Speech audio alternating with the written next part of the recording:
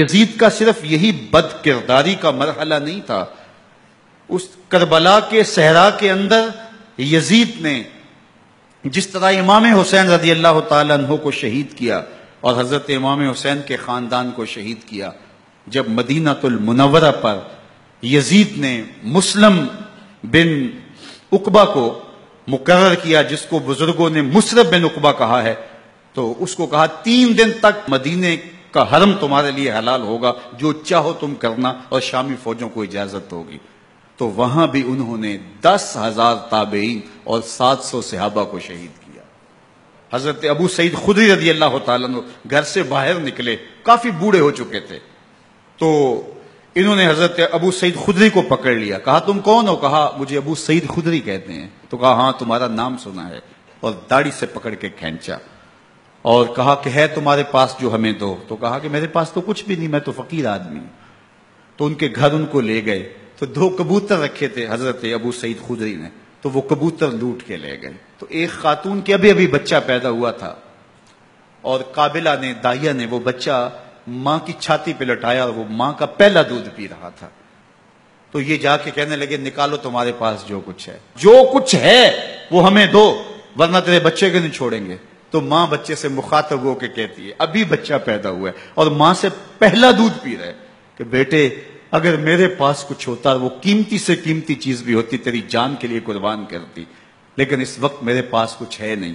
تو ایک شکی آگے بڑھا اور بچے کو ایک ٹانگ سے پکڑ کے کھینچ کے دیوار کے ساتھ پٹک کے مارا، جس سے دماغ کا بھیجا نکل گیا۔ کیا کیا زیادتیاں نہیں کی، سات سو صحابہ ہررا کے واقعہ میں شہید کیے یزید نے۔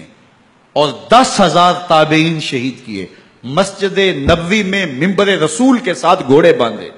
اور وہ ممبر رسول اور مسلح رسول کے قریب لید کرتے رہے۔ تین دن تک مسجد نبوی کے اندر گھوڑے بندے رہے اور مدینہ کی حرمت پامال کی۔ مدینہ کے گھروں کے اندر یہ بد کماش داخل ہوئے اور جو بدکاریاں انہوں نے کی، کلیجہ منہ کو آتا ہے۔ ایک ہزار دو شیزائیں ان بدکاروں کی بدکاریوں کی وجہ سے کنواری حالت کے اندر حاملہ ہوئی تین دن تک مدینے کا حرم انہوں نے پامال کیا۔ اور پھر مکہ المکرمہ میں کعبہ اللہ پر گولے برسائے اور کعبہ کا غلاف جل گیا۔ وہ تو یزید مر گیا اور حضرت عبداللہ ابن زبیر رضی اللہ تعالیٰ نے اپنی خلافت کا اعلان کیا۔ یزید کے یہ کرتوت تھے۔ ادھر اہل مدینہ کو ستایا، ادھر اہل مکہ کو ستایا۔ اور رسول اللہ صلی اللہ علیہ وسلم کے خانوادے کی بے حرمتی اور توہین کی، نہ صرف انہیں قتل کیا گیا، ان کی لاشوں پہ گھوڑے دوڑائے۔ ابن سعد شمر جو ہے وہ خیموں میں داخل ہوا اور مخدرات اسلام چادریں چھیننے کی کوشش کی۔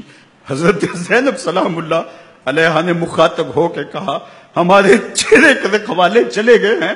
ظالم، تو خیال نہیں کرتا ہم رسول اللہ کی بیٹیاں ہیں۔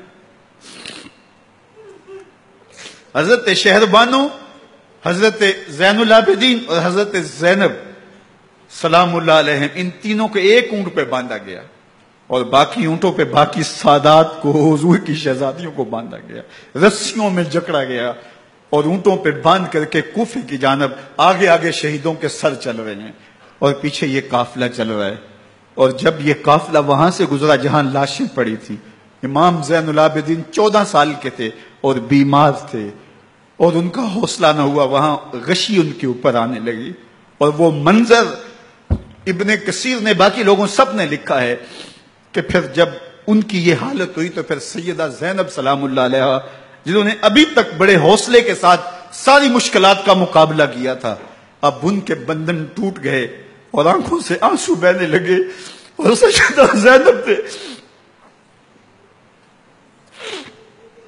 امام حسین رضی اللہ تعالیٰ عنہ کی لاش پہ کھڑے ہو کے اور وہ روندی ہوئی لاش، ٹوٹی ہوئی ہڈیاں اور وہ بڑے بدن کٹا ہوا سر نیزے کی نوک پہ اور لاش یہ پڑی ہے۔ تو حضرت سیدہ زینب نے مدینے کی طرف منہ کر کے جو ہے وہ حضور سے فریاد کی۔ رسول اللہ، اے پیارے آقا، یا جدہ ہو اے ہمارے نانا محترم، یہ دیکھی آپ کا حسین پڑا ہوا ہے۔ بدن سے کپڑے اتار لیے گئے۔ خاک ہوائیں اڑا رہی ہیں اور اس کے اوپر چادر جو ہے وہ مٹی کی پڑ گئی ہے۔ یا محمد آہو۔ اور آگے فرمایا، حضور آپ کی اولاد کاٹ دی گئی۔ اور پھر کہا، بنا تو کا سوایا۔ حضور دیکھیے آپ کی بیٹیوں کے ہاتھ باندھ دیے گئے ہیں۔